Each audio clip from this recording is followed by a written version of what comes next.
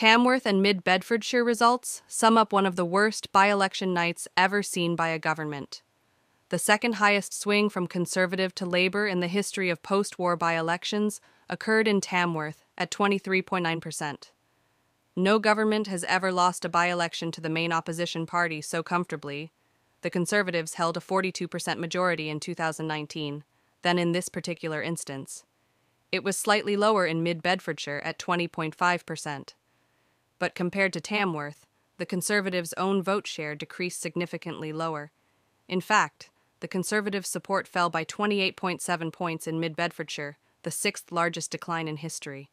Still, compared to the relatively small seven point swing in Uxbridge, both results were far closer to the 24 point swing in July in Selby and Ainsty. The summer outcome in the London seat gave Tory MPs hope that there might be a road back to electoral recovery.